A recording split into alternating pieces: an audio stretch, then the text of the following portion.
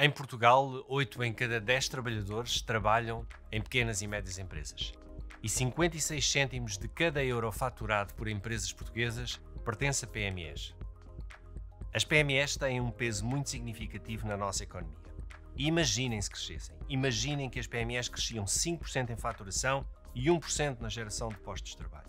Só com isto, Portugal aumentaria o volume de negócios em 12,4 mil milhões de euros e empregaria mais 33 mil pessoas. E como fazemos as nossas PMEs crescer?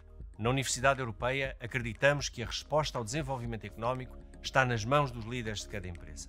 E por isso criamos o Programa em Administração de Empresas, que conta com a parceria do IABMEI.